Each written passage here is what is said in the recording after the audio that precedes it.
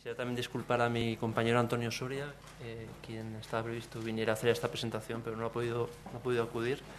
En su lugar, eh, bueno, eh, haré yo la presentación sobre el estudio PESETA, que es un informe reciente de hace dos meses que se hizo público en noviembre, antes de la cumbre de Copenhague, que en pocas palabras intenta ligar estas dos imágenes. ¿no? En la parte de la izquierda tenemos uno de los escenarios posibles de cambio climático a final del siglo XXI, eh, nuestro siglo, y al lado de la derecha, bueno, aquí cuando se presenta en España todo el mundo lo sabe, eh, tenemos la unidad monetaria eh, anterior al euro, la peseta, entonces la idea del estudio es cuantificar en términos económicos lo que está en juego en Europa en cuanto a los impactos del cambio climático, es decir, cuánto puede costar el cambio climático en Europa.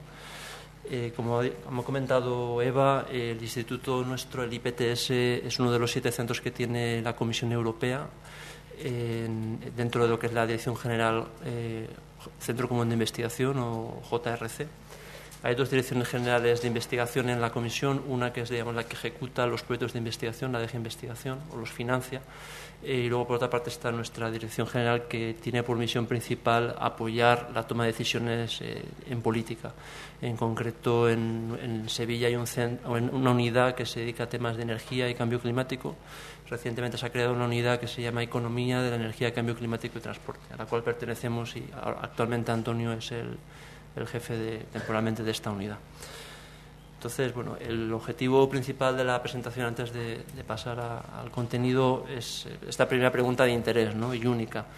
Eh, es decir, cuáles son, los, como decía anteriormente, las consecuencias económicas del cambio climático en Europa, eh, pero no solo la, la, dimensión agregada, es decir, cuánto en total puede suponer el cambio climático para Europa, sino también, digamos, donde hay más necesidad de investigar o de conocer la respuesta a esta pregunta es en cuanto a la distribución, el detalle de, estos impactos. En concreto, eh, qué sectores económicos se pueden ver afectados por el cambio climático, eh, qué eh, zonas geográficas. Esto es muy importante de cara a la política de adaptación. Y luego, además, también en qué horizonte temporal, porque no es lo mismo hablar para final de, siglo, de este siglo que a mediados del siglo, por ejemplo. Entonces, la motivación última de este estudio, eh, digamos, de responder a esta pregunta, es eh, no solo la justificación de las políticas de mitigación, en parte los mercados de carbono, que es el, objeto de, esta, de, estas jornadas, tienen su razón de ser, su justificación en, bueno, en que hay un impacto negativo del cambio climático sobre los ecosistemas y los sistemas naturales y la economía. Pero luego, además, también eh, una segunda política que está emergiendo en el mundo y en concreto en Europa es la política de adaptación. El cambio climático está ahí y es necesario, por una parte, evitar en lo posible o minimizar los impactos negativos, pero también aprovechar las oportunidades que las ofrece. En este contexto, eh, hace unos meses, en abril del año pasado, la Comisión publicó el libro blanco sobre adaptación y digamos que este estudio responde en parte a, lo que es la política de adaptación, dado que permite tener un mejor conocimiento sobre dónde se van a producir esos impactos del cambio climático, en qué sectores y en qué zonas geográficas, y esto puede ayudar a la hora de diseñar una política de adaptación óptima. Entonces, antes de pasar a las distintas partes de la presentación, conviene ver qué es lo que se sabe sobre la, la pregunta general, qué impacto económico puede tener el cambio climático. Entonces aquí hay unas, unas hojas, eh, aquí tenemos en primer lugar lo que concluye el IPCC y el informe Stern. Entonces vemos que, en el, por ejemplo, en el lado de la derecha del informe Stern tenemos en el eje horizontal el incremento en temperatura mundial medio y en el eje vertical pues tenemos el daño en porcentaje del PIB. Entonces vemos que para aumentos de temperatura del orden de 4, 5, 6 grados respecto a niveles preindustriales, el daño en términos de impacto sobre el PIB es del orden del 5-6% o incluso del 10-12% o más en función de las categorías de daño que se consideren. esto es lo que se sabe en cuanto a impactos agregados. Si, queremos ir más allá y ver qué es lo que se sabe en cuanto a desagregación, ahí digamos que nos quedamos porque no se puede avanzar mucho más. De hecho, la literatura utiliza una medida sintética del impacto del cambio climático, que es lo que se conoce como el daño marginal o el valor social del carbono, que lo que pretende es eh, poner en un único número al, daño que produce una tonelada adicional de carbono o de CO2 en la atmósfera. Entonces aquí eh, ha habido varios estudios que han recogido la literatura, uno de ellos es de Richard Toll y concluye que el daño se el valor medio es de 97, unos 100 dólares por tonelada de carbono, pero vemos que la, desviación estándar en cuanto a los estudios que considero es muy amplia, es de 200 eh, dólares, con lo cual tenemos tanto valores de impacto negativo como valores de impacto positivo, es decir, beneficios. Entonces, aquí, ¿por qué hay tanta dispersión en cuanto a estas estimaciones? Aquí hay dos cuestiones muy importantes y es cómo se valora hoy el daño económico del clima en el futuro, para eso hace falta utilizar una tasa de descuento, y luego además también cómo se valora el daño en distintos países. Entonces aquí entramos ya en, en, consideraciones de equidad o de justicia distributiva. Entonces esto explica en parte la gran diversidad de impactos. lo que no se sabe es sobre todo los impactos de tipo no mercado. O sea, detrás de esas cifras agregadas se puede eh, ver que, conduce a las mismas. Entonces los impactos sobre ecosistemas, biodiversidad, etcétera, son poco conocidos relativamente. También impactos muy importantes, posiblemente los más importantes, importantes que son los ligados a, los extremos, es decir, no solo a la al, cambio en la temperatura media y precipitación media, por ejemplo, sino también las colas de las distribuciones ¿no? estadísticas. Ahí es donde, digamos, eh, queda mucho por hacer en cuanto a investigación y, en concreto, lo que son impactos de tipo catastrófico, ya en el largo plazo, por ejemplo, una alteración de la corriente termolina en el Atlántico. Entonces, la presentación eh, bueno, tiene varias partes. En primer lugar, veremos en líneas generales lo que ha sido el estudio, que se publicó en un informe, no sé si al final se ha puesto en el CD, en PDF, si no se puede encontrar en la página de Internet que aparece al final. Eh, veremos algo de la metodología del estudio, que está basada sobre todo en el uso de modelos de equilibrio general computable. Eh, ya pasaremos a los resultados tanto de tipo sectorial, que es lo que interesa, el detalle para los sectores que hemos considerado en el estudio, como los impactos agregados en términos de, PIB o de bienestar de la, de la sociedad europea. Entonces, eh, el objetivo del estudio PESETA, que fue financiado totalmente por nuestra dirección general, es cuantificar eh, desde, desde, una óptica multisectorial los impactos del cambio climático. Y la, digamos, la motivación última ha sido ser de utilidad para los políticos o los decisores políticos. Tuvimos la suerte cuando empezamos el estudio de que la Dirección General de Investigación había financiado varios proyectos relacionados con, este, con lo que nosotros queríamos hacer aquí, en concreto un estudio muy bueno de, simulación climática, el, el, estudio Prudence, que también se utiliza en España, que ofrecía un gran, un gran conjunto de posibles escenarios de cambio climático de futuro. Además, también había otros estudios eh, ya finalizados que lo que, hacían, eh, lo que han hecho ha sido proporcionar modelos de cuantificación de impactos. Entonces, el, estudio lo financiamos nosotros, lo coordinó, lo coordinó, el IPTS y tuvimos varios partners, un primer grupo de, colaboradores que elaboraron los escenarios climáticos y luego teníamos eh, cinco equipos diferentes que cada uno de ellos se ha encargado de, un sector. De un sector Entonces, tenemos la agricultura, impacto sobre la salud humana, eh, inundaciones en cuencas hidrográficas, eh, sistemas costeros y turismo. Entonces, el punto inicial para hacer la evaluación es eh, tener los impactos en términos físicos de cada uno de estos cinco sectores y luego proceder a la cuantificación en términos económicos y finalmente a una integración de los distintos impactos sectoriales en un contexto de, de, equilibrio general, una metodología de tipo económico que veremos brevemente. Entonces, aquí aparecen las etapas del estudio. Empezamos en la parte superior con lo que es el, escenario climático, que tenemos TP y SLR, que es temperatura, precipitación y sea level rise, aumento del nivel del mar. Entonces, los, estos cuatro modelos, eh, que son los que proporcionan datos de tipo económico, se, se, utilizan con los mismos escenarios climáticos. Tenemos unos impactos en la parte inferior, unos impactos en términos físicos, y posteriormente esos impactos físicos se pueden cuantificar en términos económicos, con lo cual tenemos el coste directo. Por ejemplo, en términos de, inundaciones, pues se puede valorar el daño que produce una inundación. Pero la última etapa, la etapa 3 eh, del estudio, ha sido integrar esos eh, resultados para los distintos sectores en un marco consistente, en un marco homogéneo, usando una metodología de equilibrio general computable. Con lo cual tenemos una, eh, una métrica de comparación entre los distintos impactos, una métrica que es consistente. Entonces, a la hora de presentar los resultados, se agruparon eh, los, eh, los, impactos en cada uno de los países según zonas geográficas, en función de criterios geográficos. Entonces, España aparece en la zona sur, del sur del Mediterráneo, en los cuales tenemos la península ibérica, Italia, Grecia y también tenemos, eh, aparece aquí Bulgaria. Luego tenemos la Europa del Norte, en verde oscuro, las Islas Británicas por una parte, y el centro de Europa lo dividimos en dos zonas, la zona norte y la zona sur.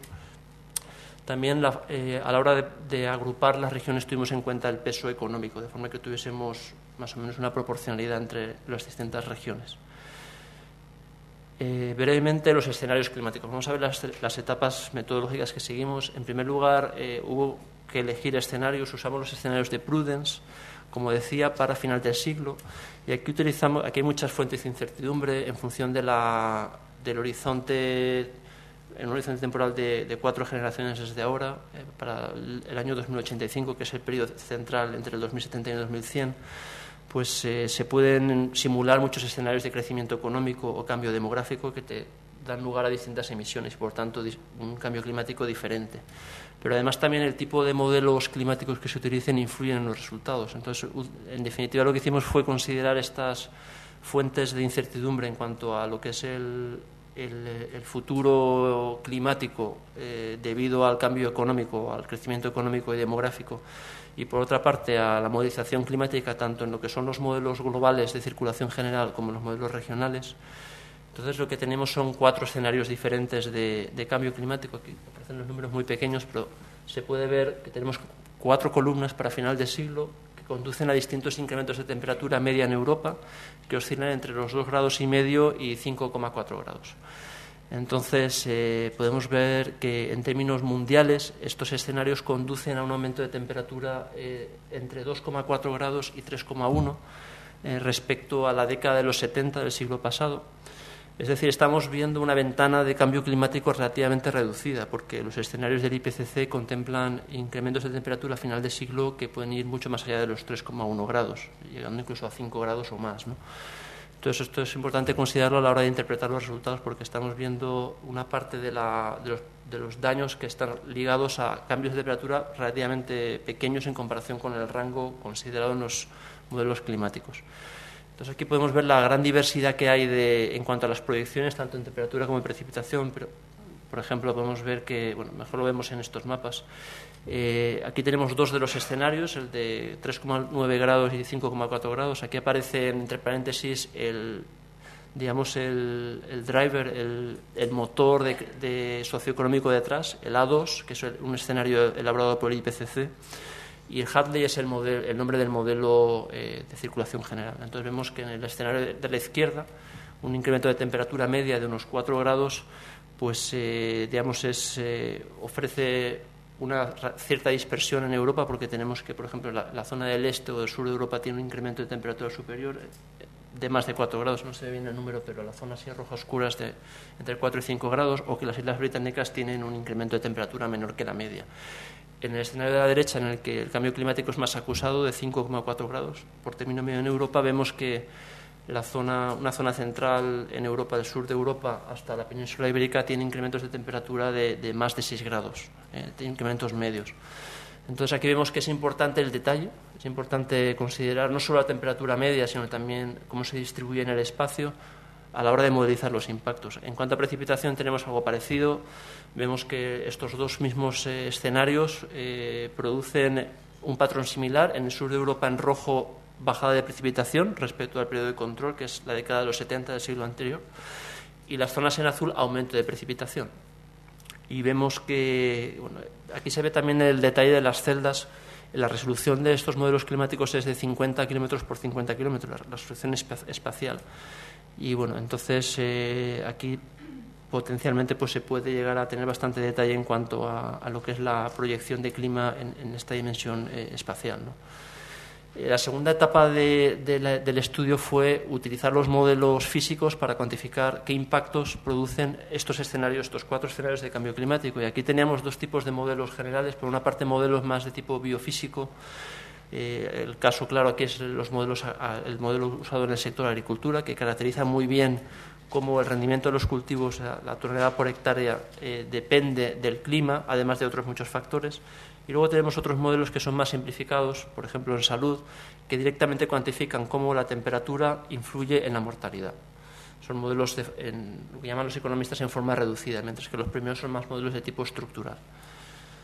Entonces, eh, Podemos pasar ya brevemente a, ver lo que es la metodología, digamos, que ha integrado todos los modelos, pero tampoco me voy a detener mucho por, por el tiempo y también porque quizá es técnico, esto es más, está pensado más para, para economistas.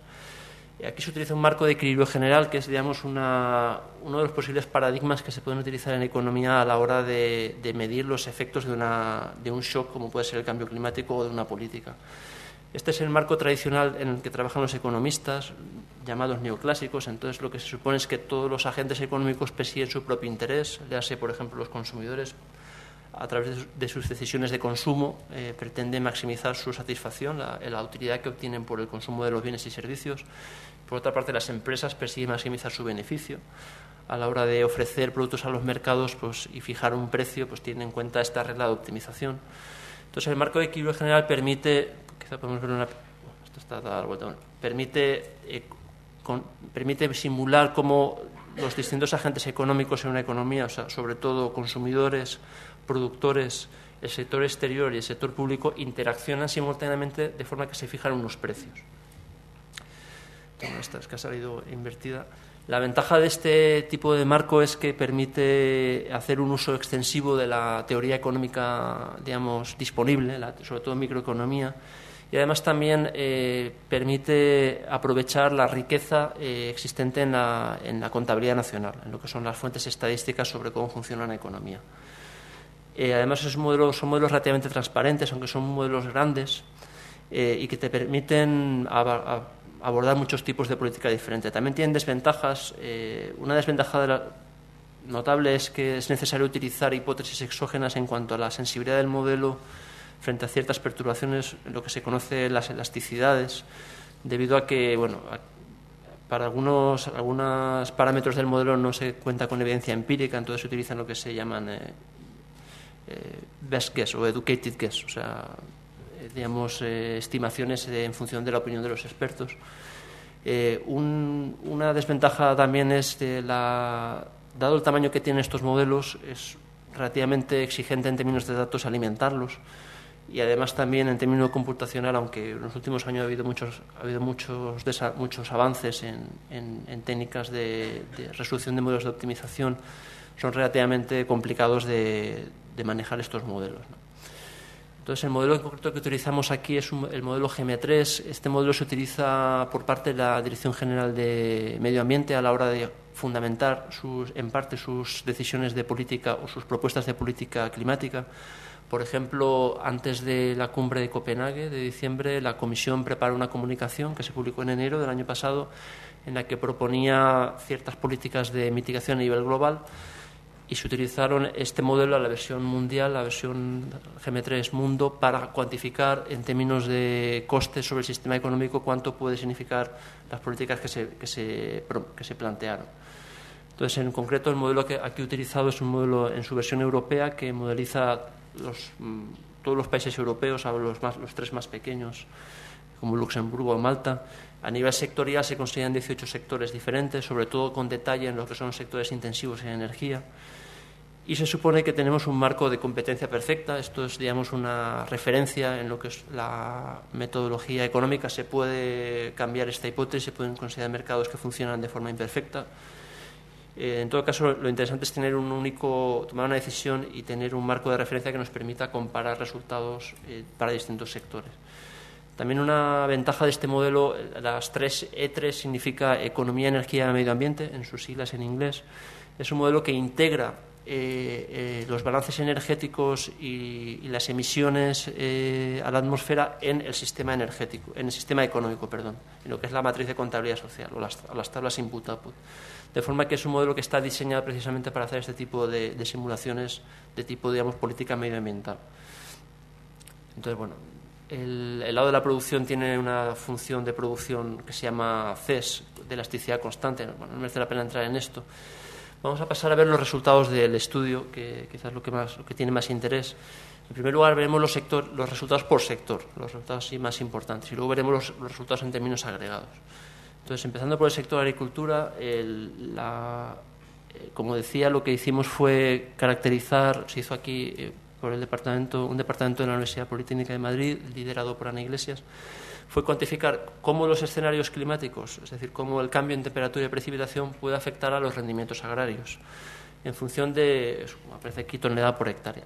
Entonces, esto en el modelo económico se interpreta como un shock de productividad. Y aquí vemos eh, uno de los mapas que se publicó en el libro Verde sobre, adaptación en el año 97, en el que vemos que el cambio climático es asimétrico, o sea, produce en las zonas en rojo son zonas con bajada en el rendimiento eh, agrario, las zonas en verde son zonas con incrementos y vemos que en general en el sur de Europa, sobre todo en la península ibérica, se proyectan bajadas para este escenario en concreto del orden del 15 al 30%. Y hay zonas en Europa, en el, norte, por ejemplo, que tienen eh, incrementos positivos. O sea que aquí vemos ya que hay una simetría, hay zonas que pueden mejorar gracias al cambio climático y zonas que pueden empeorar. se puede, ya en el informe que publicamos hace, hace dos meses, eh, presentamos los resultados numéricos detallados y aquí vemos para para los cuatro escenarios de final del siglo y a la derecha del todo el escenario más de corto plazo, eh, los años 20, que es lo que proyecta el modelo para tanto toda Europa, la última fila, o cambios nulos o cambios negativos, o sea, bajadas en los rendimientos agrarios, por ejemplo, en el escenario más extremo de cambio climático de 5,4 grados, este escenario de aquí, tenemos que el, incremento, el cambio medio en, en la productividad agrícola en Europa sería una bajada del 10%, y sobre todo tenemos en el sur de Europa una bajada de casi del 30%, mientras que en el norte tenemos un incremento muy importante, del orden del 50%. Eh, luego veremos en la última, en la última parte de la presentación cómo estos impactos físicos se traducen en, impactos económicos, en términos de PIB o en términos de bienestar de los consumidores. vamos a ver ahora los resultados sobre costas. Eh, aquí se utiliza un modelo también mm, bastante detallado, un modelo que se llama DIVA, que lo que hacía era mm, bueno, este modelo caracteriza los procesos físicos en cuanto a lo que son el, impacto de la subida del nivel del mar en los sistemas costeros y en concreto eh, proporciona dos tipos de impacto eh, que se pueden ligar al modelo de equilibrio general al final, que son cómo cambiará cuánta gente se verá afectada por las inundaciones, si se provocarán o no migraciones debido a esto, porque la gente reaccionará obviamente, y en concreto este sector es el único del estudio PESETA que considera medidas de adaptación. Esta, este gráfico aquí apareció en también en el libro verde sobre adaptación al cambio climático. Y aquí uno de los resultados importantes podemos, bueno, aquí tenemos dos partes. La parte de la izquierda es eh, para un aumento del nivel del mar de unos 25 centímetros a final del siglo y el, lado de la derecha un aumento del nivel del mar de 56 centímetros. Aquí, en, el caso de subir el nivel del mar, la incertidumbre es mayor relativamente. Entonces, el abanico de escenarios es, que consideramos que fue bastante numeroso, creo que son treinta y tantos en total, porque hay mucha incertidumbre en cómo, cómo puede responder el nivel del mar al calentamiento de, la atmósfera. Entonces, aquí vemos, por ejemplo, en las dos columnas de la derecha, para este incremento de, nivel del mar del orden de 55 centímetros, al final del siglo, es decir, en los años 80, eh, tenemos eh, la cuantificación económica del daño directo debido al cambio climático en sistemas costeros, que se estima en unos 18.000 millones de euros. Y en la, columna de la derecha, la última, a, mano derecha, vemos qué impacto tendríamos si se consideran medidas de adaptación. Evidentemente, si va a haber cambio climático, la sociedad y, va a haber políticas para adaptarse al mismo, para tratar de minimizar los impactos. Este modelo contempla en concreto dos medidas. Por una parte, construcción de diques o elevación de diques allá donde ya existan y además también el repoblamiento de playas con arena. Entonces, si se llevan a cabo estas medidas, el impacto pasa de tener una magnitud de 18.000 millones a unos 3.000, o sea, se divide por 6. Y de esos 3.000 millones de euros, eh, que es un impacto relativamente reducido en comparación con el tamaño de la economía europea, eh, la mitad es eh, daño, digamos, es el gasto en adaptación, que es la, la zona en rojo. Aquí vemos los resultados que han aparecido en el último informe, eh, cuánta gente se puede ver afectada por eh, las inundaciones. Entonces aquí vemos, en términos, esto está en miles de, personas eh, por año, y vemos que para el conjunto de Europa, según nos movemos hacia un escenario de más calentamiento, empezamos por unos 700.000 personas afectadas al año y pasamos a un millón en el escenario de 5,4 grados. Además, se consideró otro escenario que este es High Sea Level Rise, el de la derecha del todo, que contempla un incremento del nivel del mar no de 56 centímetros, sino de 88 centímetros, que está más cerca de las últimas estimaciones que hizo el IPCC en el, cuarto informe de, evaluación del año 2007. Bueno, de hecho, en el 2007, si no recuerdo mal, el, rango era entre 25 y 60 centímetros, pero posteriormente, año 2008-2009, se han revisado estas cifras y algunos estudios concluyen que el incremento del nivel del mar puede ser, acercarse más al metro a final del siglo. Entonces aquí vemos que hay un efecto muy no lineal, porque pasamos de eh, de eso, de en torno al millón de personas afectadas a 5 millones si, si, la, si, estamos en un escenario de, aumento del nivel del mar de 30 centímetros más respecto a este al último de, de, los cuatro considerados. Esto también es un resultado interesante. Eh, el cambio climático puede tener impactos de tipo asimétrico en el espacio, pero también eh, según la magnitud del cambio de la señal de clima o de subida del nivel del mar, pues el, el efecto puede ser muy no lineal. Eh, otro sector muy interesante es el de inundaciones en ríos, porque es donde, además de en las costas, en una gran parte de la población vive asentada cerca de cuencas hidrográficas, entonces puede haber un cambio en el, riesgo de inundación que se puede cuantificar. este estudio lo realizó un, instituto hermano del, nuestro que está en, ISPRA, el Instituto de Medio Ambiente y Sostenibilidad. Ellos tienen un modelo muy detallado de, inundaciones que se llama el ISFLOT y en concreto este estudio fue el más exigente en cuanto a datos climáticos porque utilizaba eh, datos de, frecuencia diaria.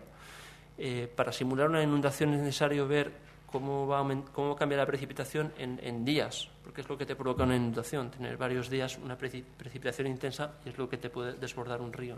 Si tienes datos con un mes, pues eso no lo ves con resolución mensual o, trimestral o anual. Eh, y además también en cuanto a la resolución espacial, eh, en algunos de los escenarios utilizaron eh, celdas de 12 por 12 kilómetros. Entonces, ellos cuantificaron el impacto directo del cambio climático en términos de daño. Aquí aparece para comunidades autónomas en España, un NATS NAS 2, ¿no? en, lo que es el, en, el, ámbito europeo, cómo puede cambiar el, daño económico eh, debido a un escenario concreto, creo que este es el A2, este creo que es el 3,9 grados. Entonces, aquí los colores son, son contraintuitivos porque en rojo tenemos una, una mejora, o sea, estamos, es menor riesgo de inundación o menor daño de inundación y en azul un daño, o sea, un aumento del coste económico. Entonces aquí vemos de nuevo la gran asimetría espacial eh, en cuanto a los impactos del cambio climático, eh, más cuanto más eh, se hace el zoom, ¿no? cuanto más detalle tenemos. Entonces a continuación vemos el, daño en términos de euros para los, todos los escenarios contemplados. Entonces aquí vemos que el, el total en Europa oscila entre los 7.000 millones de euros y los 15.000 millones de euros en los escenarios climáticos como referencia en, eh, la observación reciente, o sea, la ventana de control que utiliza el modelo, o sea, la, referencia en, la simulación climática es la década de los 70, o sea, las tres décadas de 1961 a 1990, se, toma el año central, solamente se coge la media, y aquí el modelo simula un impacto de unos 6.000 millones de euros en Europa entonces vemos como el impacto en todos los casos es superior, pero de nuevo vemos también, yendo al detalle, que en algunas zonas geográficas el impacto es menor, como en el norte de Europa, que tiene un menor riesgo de, inundación y, por tanto, un menor daño económico. Eh, impacto sobre la salud humana. Eh, aquí presentamos dos de los mapas de, en cuanto a cómo afecta el cambio climático a la mortalidad, tanto ligada al calor como al frío. Entonces, eh, esto es cuánto cambia la mortalidad eh, en términos de tasa, o sea, por, cada 100.000 por 100.000 habitantes. Entonces, vemos en, el gráfico de la izquierda es eh, el aumento, el cambio en la mortalidad debido al, calor, o sea, que es un aumento en la mortalidad porque los escenarios son de, más calentamiento. Esto es sobre todo es un aumento de la mortalidad que se produciría en verano. Vemos sobre todo que las tasas más elevadas en, en ya tonos naranjas o rojos son en el sur de Europa. Y en el lado de la derecha tenemos que, en cuanto a la mortalidad de invierno ligada al frío, hay una mejora, porque los, inviernos van a ser más cálidos en general en los escenarios climáticos de futuro. Entonces vemos también que aquí el patrón es, eh, no se ve bien la leyenda, pero todos son con signo negativos. Hay una bajada de la tasa de mortalidad y podemos ver la distribución en estas celdas de 50 kilómetros de lo que es la, caída de mortalidad. Entonces, las zonas en azul oscuro son las que tienen una mayor bajada o mayor beneficio en términos de menor mortalidad, que son las zonas situadas más hacia el este de Europa. Un sector muy interesante es el del turismo, eh, pero que, que es difícil de cuantificar. En concreto, aquí se usó una metodología también como la de, la de salud, es decir, se relaciona cómo el turismo medido en pernoctaciones se ve influenciado por el clima. Aquí se utilizó un indicador sintético de cambio climático, que es un indicador que llaman de confort, que tiene en cuenta la temperatura, la precipitación, el viento, la humedad, distintas variables. Entonces hay estudios que han digamos, elaborado un índice sintético de, de confort que se puede relacionar con las pernoctaciones. En la regresión estadística no solo hay que tener en cuenta eh, el, clima, sino otros determinantes de, los flujos de turismo, o sea, las pernoctaciones en hotel, que es lo que se modelizó aquí, como puedan ser eh, los precios o la renta, las típicas variables en una ecuación de demanda eh, de tipo económico. Entonces, aquí vemos cuál, es la, cuál puede ser el cambio en este índice de confort que se llama TCI en el futuro respecto al periodo de control. El periodo de control es el, pasado reciente, la década de los 70 del siglo pasado, y aquí vemos que según el valor de este índice se puede caracterizar Europa como más o menos atractivo para el turismo. Entonces, las zonas en rojo, rojo oscuro, son zonas muy buenas, excelentes. Eh, vemos sobre todo que la zona mediterránea es la, la, mejor para actividades turísticas. ¿Qué puede pasar si el clima cambia según los escenarios que hemos utilizado, los escenarios de Prudence? Entonces vemos que este es uno solo, un único, uno, solo de los determinantes del de las pernoctaciones, pero vemos que en el lado de la derecha, tanto en estos dos escenarios como de 4, de 4 como de 5,4 grados, tenemos que la zona del Mediterráneo pasa de ser considerada con muy buenas condiciones climáticas a condiciones buenas o aceptables. Esto en verano. Sin embargo, en otras estaciones eh, ocurre lo contrario, que las zonas del Mediterráneo mejoran eh, su grado de atractivo turístico desde el punto de vista climático porque los, la primavera o el otoño son más suaves. Con lo cual, eh, esto es una información que puede ser interesante para el sector turístico a la hora de diseñar una adaptación, una estrategia de adaptación ante el cambio climático, porque se pueden intentar eh, bueno, atraer turistas en periodos que vayan a tener más, más atractivo desde el punto de vista climático, como puedan ser lo que son las temporadas bajas. El modelo, además, eh, permite también cuantificar eh, cuánto, en términos de euros, significa eh, los cambios que habrá, según el modelo, en cuanto a las pernoctaciones. Entonces, vemos que en toda Europa, en general, el cambio es positivo, es decir, tenemos más ingresos agregados, pero la distribución es muy asimétrica de nuevo. Vemos que en el sur de Europa, de acuerdo con el modelo, que tiene sus limitaciones, como todos los modelos utilizados en el estudio, se proyecta un menor eh, volumen de ingresos porque habrá menos pernoctaciones. El efecto neto es, eh, negativo y, esto se traduce suponiendo un determinado valor al gasto que hace un turista por día, se puede obtener un, impacto directo en términos económicos y vemos que esto oscila entre los 800 millones de euros y los 5.000 eh, para el sur de Europa. Mientras que el norte de Europa y en general todas las otras regiones de Europa tienen una situación de ganancia. En el, en el, informe aparecen otros escenarios que consideran que este total en Europa, en lugar de ser positivo, se puede, imponer que es cero, de forma que evitemos algún tipo de distorsión eh, debido al, escenario climático. Entonces, aquí lo que ocurre es que este efecto asimétrico se agudiza, es decir, los impactos positivos son mayores y los negativos son, peores todavía. Y también incluso se puede modelizar el caso en el que no haya flexibilidad entre las eh, entre las estaciones, es decir, que, no, que el flujo de turistas no pueda cambiar de verano a otoño, sino que, que, se mantenga constante, con lo cual los efectos son todavía mayores. Esto aparece en, el, informe, en el informe final. Bueno, entonces, para terminar, eh, vamos a ver ahora lo que es la visión de conjunto de los impactos. Hemos visto los, los impactos sector por sector. Entonces, lo que hicimos al final fue eh, poner todos estos impactos en en, un modelo de tipo económico, el que hemos visto, el modelo de equilibrio general, de forma que pudiéramos tener una idea del grado de importancia relativa de los distintos impactos en Europa. O sea, una visión de conjunto. Eh, ¿Por qué el cambio climático puede ser grave en Europa? eh, por qué, en qué sectores y en qué zonas geográficas. Eso lo podemos ver con un modelo como el que hemos utilizado. Entonces, en concreto, lo que hicimos fue eh, simular cómo el clima eh, del futuro, tal y como lo simulan los modelos climáticos, afectaría a la economía tal y como la observamos hoy. Se podría haber simulado el efecto sobre la economía del futuro, pero para ello hace falta hacer una simulación también de cómo va a evolucionar el sistema económico en 80 años. Y bueno, pensamos que era como primera aproximación a, lo que queríamos hacer en este estudio era más razonable empezar simplificando la pregunta, de decir, bueno, ¿qué pasaría si el clima de aquí a cuatro generaciones ocurriera hoy? Eh, ¿Qué sectores serían más afectados? ¿Cuáles se podrían ver beneficiados y dónde? Eh, además, una cuestión muy importante es que como solamente un estudio considera políticas de adaptación, que es el estudio de costas, supusimos que eh, no se produce adaptación en ninguno de los sectores, de forma que podemos comparar. Esto también nos permite tener una idea de, dónde se pueden priorizar las medidas de adaptación, porque a la hora de asignar recursos escasos en un sistema económico hay que establecer unas prioridades y la forma en la que uno podría realizar esto es con este tipo de ejercicios, es decir, suponiendo que no te adaptas, vamos a ver qué pasaría si uno no se adapta y donde más problemas haya, pues se pueden destinar recursos para minimizar ese daño. Esta es la idea de, la simulación que hicimos aquí.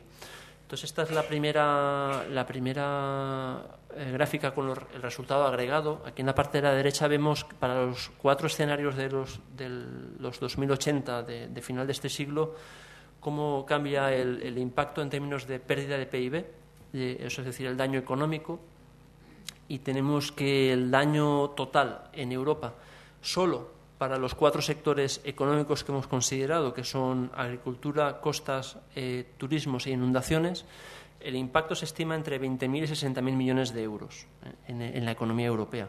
¿Esto cuánto supone respecto al PIB? Eh, los 65, 60-65.000 millones de euros es aproximadamente el 0,5% del PIB. Pero aquí estamos dejando fuera muchos impactos de mercado y también de no mercado, que tienen pueden tener una valoración económica. Dejamos fuera todos los impactos de tipo catastrófico. Por lo tanto, esta medida, eh, sin duda, es una eh, infravaloración del impacto total que puede tener el cambio climático en Europa debido al ámbito sectorial del estudio, en el que hemos dejado fuera otros sectores eh, que son muy importantes. Todos los extremos, sequías, olas de calor, eso no está considerado.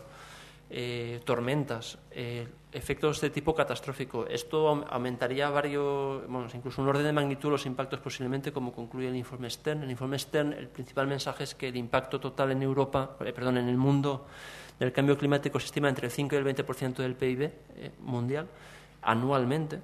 En la economía eh, ha crecido, la economía mundial ha crecido a una tasa del 4%, cercana al 4% desde la Segunda Guerra Mundial, o sea, estas cifras son muy importantes.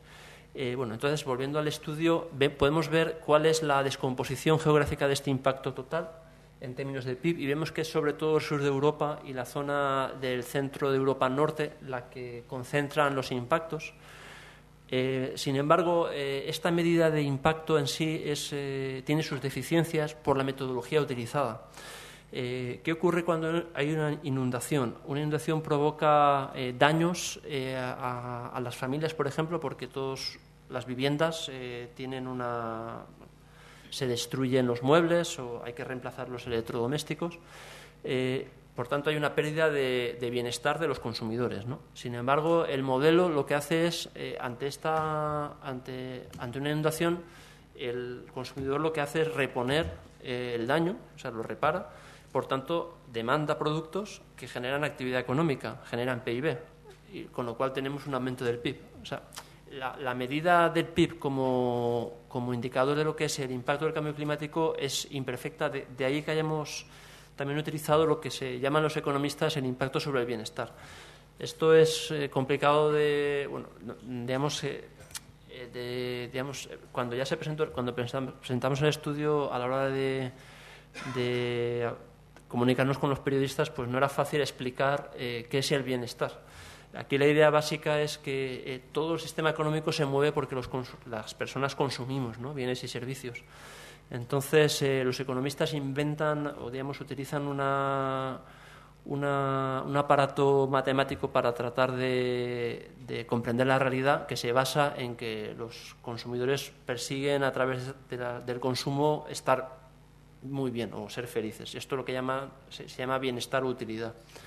Entonces, el modelo, este modelo económico utilizado, el modelo de equilibrio general, permite valorar en términos de, utilidad, de satisfacción del consumidor o de bienestar del consumidor qué supone el cambio climático. Entonces, para poner estas cifras en, un contexto eh, histórico, aquí vemos a la derecha que el impacto total para Europa en los distintos escenarios oscila entre el 0,2 y el 1% anual de pérdida del bienestar. ¿Esto es mucho o es poco? El 1% es lo, máximo que puede eh, perder, bajar el bienestar en Europa debido al cambio climático solo en los cuatro sectores considerados y en estos escenarios. En el escenario más pesimista, que es de 5,4 grados en Europa, pero repito, a nivel mundial es un escenario de alrededor de 3, de 3 grados respecto a los años 60, respecto al periodo preindustrial sería 3,7 grados o 3,6 grados. O sea que no es, no es ni mucho menos el escenario más pesimista de los que contempla el IPCC. Entonces, eh, ¿cuánto crece la economía al año? Aproximadamente la economía europea, está la tasa tendencial, ahora este año eh, de la crisis eh, hemos tenido un crecimiento negativo, pero el crecimiento, digamos, histórico medio es del orden del 2% anual. Es decir, que el, la satisfacción de los consumidores o de la gente mejora al 2% anual. Con los impactos que hemos considerado aquí en el escenario más pesimista, ese 2% que se, sería un 1%, porque tendríamos un 1% de pérdida. Esta es la, esta la interpretación del resultado. Entonces, eh, podemos ver que las zonas antes que teníamos, por ejemplo, en las Islas Británicas, que eran cambios muy pequeños, eran pérdidas, ahora, sin embargo, si tenemos ya, si tenemos eh, barras eh, que van mucho más allá, ¿no? se alejan del cero, porque estamos midiendo mejor el impacto económico. Eh, vemos eh, aquí ya también un mensaje, es que hay una zona de Europa que se vería beneficiada por el cambio climático, que es la zona del norte de Europa, los países escandinavos. y sin embargo, el resto de zonas que se han considerado en el modelo tendrían pérdidas podemos ir un paso más allá. Ahora ya hemos respondido a la primera de las preguntas que hacíamos. O sea, cuál es el impacto total y su distribución geográfica, pero también podemos ver por qué ocurre esto, que es la, siguiente, la siguiente transparencia, que es podemos descomponer por sectores cada una de las barras. Entonces, vamos a ver la zona en la que estamos, sur de Europa. Primer resultado, todos los escenarios conducen a pérdidas. Segundo resultado, eh, eh, vemos que mientras que la pérdida máxima de bienestar en Europa es del 1%, en el escenario más extremo, en, el sur de Europa, esta pérdida puede llegar a ser del 1,6%. ¿Por qué estas pérdidas? Sobre todo por el impacto debido a la agricultura, las, barras en verde. Entonces, eh, esto es una primera, eh, una primera reflexión sobre qué puede pasar con el cambio climático en Europa si no nos adaptamos, qué sectores económicos se pueden ver más afectados y dónde. Esta, esta, hoja, este gráfico posiblemente es la mejor síntesis del estudio que hemos hecho y del trabajo de, los siete, ocho, al final, diez centros de investigación y más de 20 personas. Eh, bueno, para concluir, eh, en este estudio se ha hecho un esfuerzo por primera vez en Europa de intentar entender eh, qué está en juego a la hora de, los impactos económicos del cambio climático en Europa. Hasta ahora había estudios, había estudios de tipo sectorial, pero no había ninguno que, integrara los distintos eh, eh, estudios sectoriales en un contexto consistente. un ejercicio de tipo de peseta eh, es un ejercicio exigente desde el punto de vista metodológico, porque es necesario hacer un esfuerzo de rigurosidad a la hora de trabajar con disciplinas científicas diferentes. Pensemos que aquí, por ejemplo, hemos trabajado con climatólogos, hemos trabajado economistas, ingenieros agrónomos, expertos en costas, expertos en salud, y trabajar, o sea, sobre el papel es relativamente sencillo elaborar pensar un estudio así, pero, pero, a la hora de ejecutarlo hay un, indudablemente hay problemas de comunicación, hace falta un aprendizaje para llegar a tener un entendimiento mutuo de, lo que hacen los distintos equipos de forma que se, que se pueda avanzar a la hora de obtener una respuesta que de otra forma no se podría hacer. Si un estudio integrado, resultados de ese tipo no se pueden obtener. Puedes tener estimaciones agregadas, pero no estimaciones tan desagregadas. ¿Qué queda por hacer? Aquí la agenda es relativamente larga porque queda mucho por conocer. En primer lugar, todo lo que son los aspectos económicos de la adaptación es eh, un gran interrogante. eh, es precisamente lo que pretende eh, el libro blanco de la adaptación. Pretende avanzar en Europa en el, en el, entendimiento de los costes y beneficios de la adaptación a nivel multisectorial. Pensemos que esto afecta a, todo, a todas las políticas, no solo, por ejemplo, la política agraria, sino también a lo que es la planificación urbanística en sistemas costeros. O bueno, eh, cómo, se, cómo, se van a, cómo se van a cambiar las, las infraestructuras portuarias debido al aumento en el nivel del mar. Esto tiene implicaciones a todos los niveles. Entonces, el análisis económico de, costes y beneficios de adaptación eh, es un tema que va a exigir eh, más estudio y más recursos, porque es fundamental a la hora de diseñar políticas de adaptación.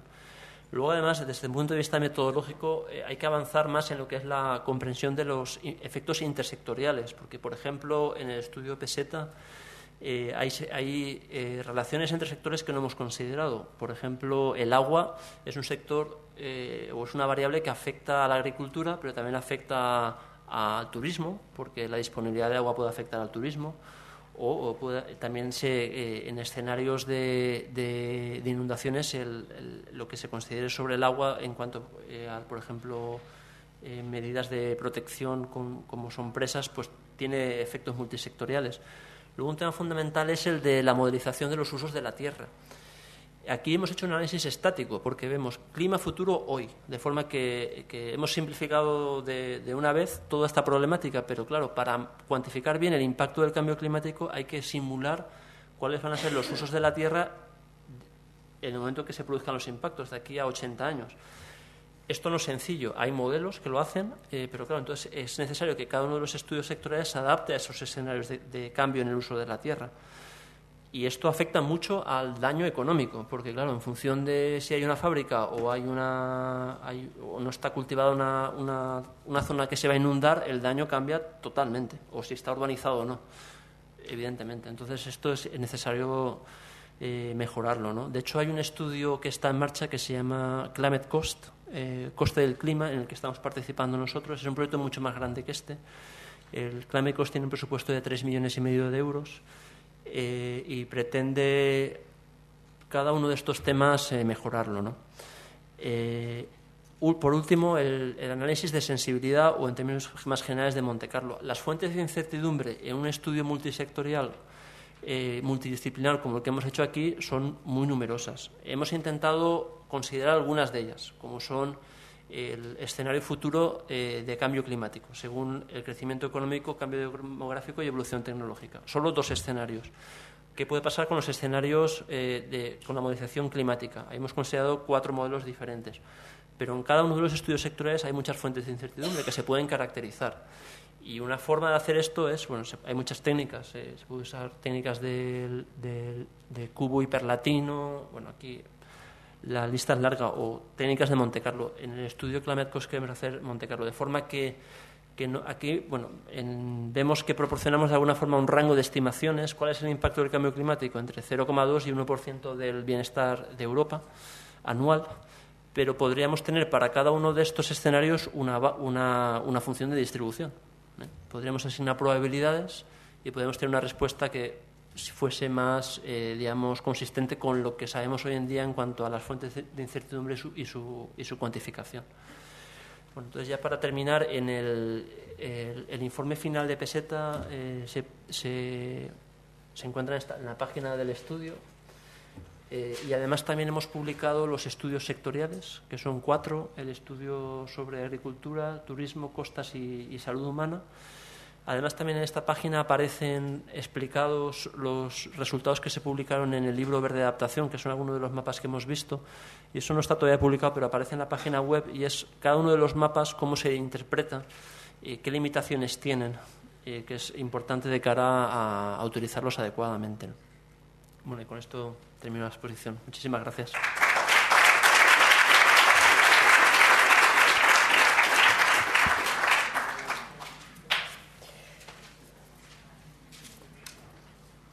Bueno, pues muchísimas gracias, Juan Carlos. Enhorabuena por el informe. Eh, no sé si, me, si, no, si no te he entendido bien o no lo has dicho. ¿Cuánto tiempo se ha llevado el, hacerlo? Es unos tres años aproximadamente para superar los obstáculos. Pues, pues enhorabuena. Eh, no sé si el público tiene alguna pregunta. Tenemos un cuarto de hora, 20 minutos, yo creo, ¿no? Antes de que venga Alicia para hacer preguntas, así que adelante. Hola, muchas gracias. Eh, quería que aclarase qué, mm, qué, tipo de tasas de descuento han utilizado en el informe y, eh, en términos de equidad, qué pesos han dado y. Gracias. Sí. Eh, la tasa de descuento es un tema muy controvertido en la literatura económica, porque, como decía, supone implícitamente valorar el bienestar de las generaciones futuras respecto a la presente. Eh, usar una tasa de descuento del 3-5% anual significa que 100, el impacto de 100 euros eh, dentro de 80 años hoy es 2, 3, 4, 5 euros. O sea, tiene un efecto enorme en, en la valoración económica. Entonces, eh, bueno, aquí hay mucha literatura. El informe Stern fue muy criticado por el, el, uso de las tasas de descuento. Entonces, aquí lo que hicimos eh, fue eh, bypassear de alguna forma este problema, dado que lo que hacemos es valorar el impacto económico que puede tener el clima futuro hoy, con lo cual no necesitamos descontar, porque estamos midiendo un caso hipotético en el que el clima futuro ocurriría hoy. No estamos, no estamos hablando del impacto en la economía de dentro de 80 años, sino el impacto hoy. Entonces, eh, eso no lo hemos. No, no, ha sido necesario asumir nada. Y en cuanto a lo que es la distribución de los impactos en el espacio, se valoran todos por igual, con independencia de los niveles de renta per cápita o niveles de desarrollo. ¿Más preguntas?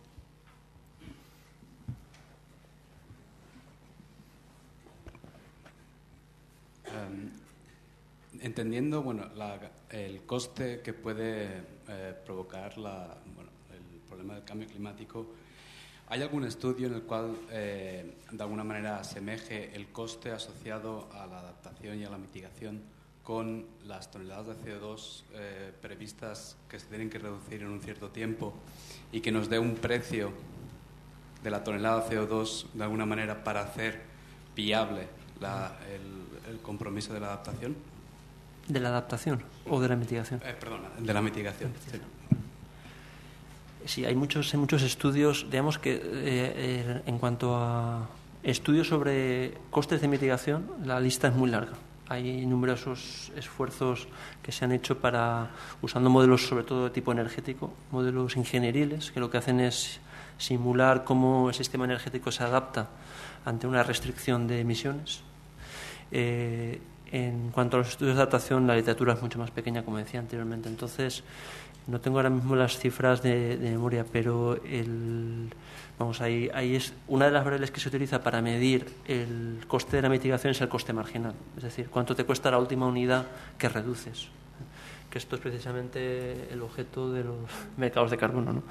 Eh, entonces, el, el si no recuerdo mal, para las últimas simulaciones que hicimos nosotros, que era un escenario de dos grados de incremento de temperatura, o sea, es decir, eh, un escenario de emisiones que permita alcanzar con una probabilidad del 50% el objetivo de los dos grados, el coste marginal en el año 2020 eh, para, o sea, el daño de la última tonelada de CO2 en términos de CO2, no en términos de carbono, creo que está en torno a los 50, 60 euros por tonelada de CO2 pero vamos, eh, hay muchos estudios, por ejemplo, el, Fond, el European Modeling For, el Energy Modeling Forum, IMF, que está tiene su sede en Stanford. Ellos han hecho varios monográficos eh, publicados en la revista Energy, Journal, en el que, bueno, según distintos modelos, se dan eh, estimaciones de daño marginal, de, bueno, de coste marginal de mitigación.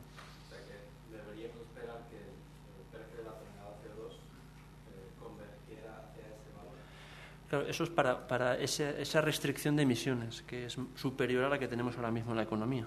Ahora mismo estamos, en Europa tenemos eh, un objetivo de reducciones de acuerdo con el protocolo de Kioto, eh, que es aproximadamente un 5%, un 8% para los países de la UE 15 y de acuerdo con bueno, cómo está evolucionando el mercado y cómo se ha regulado el mercado, el precio está por debajo.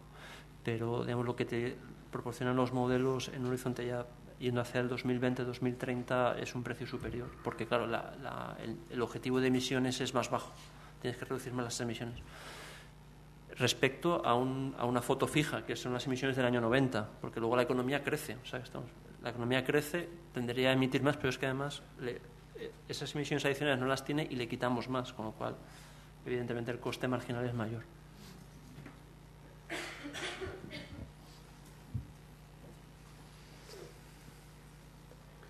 Thank you. Um, I'm interested in the, the notion of the sort of the marginal damage cost. It was mentioned in one of the various earliest slides. And, and my, my question is, does it, is it a, a, viable concept to consider at a regional level, or is it really only a global level that you would consider what's the marginal damage cost of, of mm. carbon? Um, and if it is at a regional level, are you now sort of calculating that with some of the more modern work? And, and a second question is whether the, the, the you know, either the Commission or JRC specifically, is then also doing work around the nature of the investments that are necessary in terms of adaptation in Europe, and, and perhaps a sense then of, of where's the money coming from? Is it primarily public fund, you know, funding, mm-hmm. or is, is there a role for private finance? Mm-hmm. Okay, concerning the first question, uh, indeed this relates to the to the to, to, both, I think, not to the regional area or to the global area, depending on whether you are thinking of a, a regional target or a global target. I mean, for instance, uh, I mean, if you can run a model and you, you set a, a target for US and then you get a, a, marginal value for US, or you, as we did in for the Copenhagen uh, uh, communication of January 2009, we ran a global uh, reduction scenario case where there was a global target in emissions, and we assume uh, some rules for the allocation of this target at the regional level, and also some rules for the grandfathering of uh, permits or use of taxes, emission taxes, and then we get different uh, carbon, I mean, different marginal uh, mitigation costs, of course, for, for the various regions. Yes, but th- this depends on the on the on the setup of the targets. I was meaning more the damage cost rather than. Mm. Okay, yeah, okay. I see. Sorry. Then, uh, yes, for for, uh, I would say that for for uh, for damages, uh, it's, it's, it's, the same. I mean, you can you can put in your equation, uh, you can add all the damages all over the world, and then you get a global estimate, or you can do it for a specific region, and then you get a different number. Yeah. Because it shouldn't be the same. It Depends I mean, the, the, the literature uh, concludes that damages will be higher in developing countries, much higher than in developed countries, mainly because they are less developed and then they are more vulnerable. So the same, the same uh, phenomenon uh, affects more them because they have they have less possibilities to adapt. To, to, yeah. Okay, yeah, and then on the on the quantification of the possible uh, investment requirements for adaptation. I'm not very familiar but with that, but I think that the research is uh, financing several projects to precisely put figures there. And I don't know whether the Commission published some numbers because uh, in the framework of the Copenhagen negotiations, the, the EU put forward uh, uh, yes, some money for this uh, global investment fund uh, for adaptation and mitigation, I think and I guess there is there are some there are some estimates, but I don't. Prob- the, the, place to look for this would be the DG Environment website. ¿Tenéis más preguntas? Sí.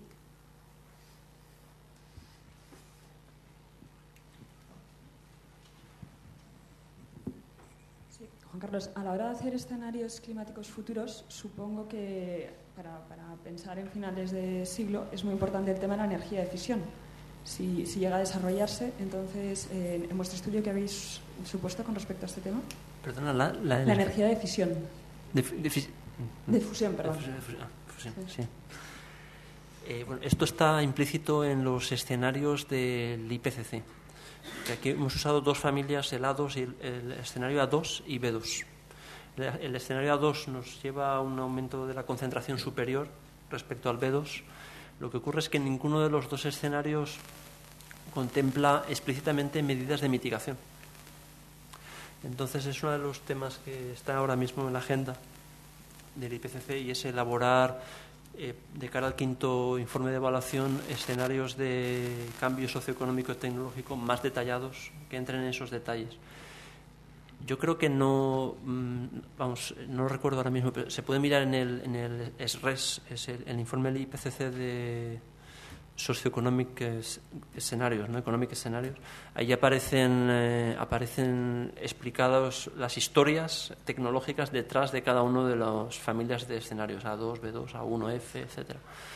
Pero no, no sé yo exactamente si entraban a- en tanto detalle como para contemplar una tecnología que todavía no es, no es de mercado, ¿no? como la, la de- la de fusión. Yo, te- yo quería hacerte una pregunta. En el informe no habéis considerado medidas de adaptación. Solo Solo el sector de costas. ¿Y por qué razón? ¿Porque hubiera sido inabordable técnicamente o...? Sí, aquí, lo- aquí la limitación ha sido metodológica. De hecho, vamos, es, como decía, es una de, los, eh, una de las grandes necesidades de investigación ahora mismo. Mejorar eh, lo que, vamos, mejorar el, la- el análisis económico de la mitigación. Porque, claro, de cara a hacer estudios de impactos es necesario modelizar muy bien la adaptación. Porque si no estás eh, midiendo mal los impactos. Pues muchas gracias, Juan Carlos. Em, vamos a hacer un receso de cinco minutos, ¿vale? Porque, como veis en la agenda, clausura la jornada Alicia Montalvo, la directora de la Oficina Española de Cambio Climático, que estaba convocada a la una y media. Como son y 25, eh, descansamos cinco minutitos y la esperamos. Gracias, Juan Carlos.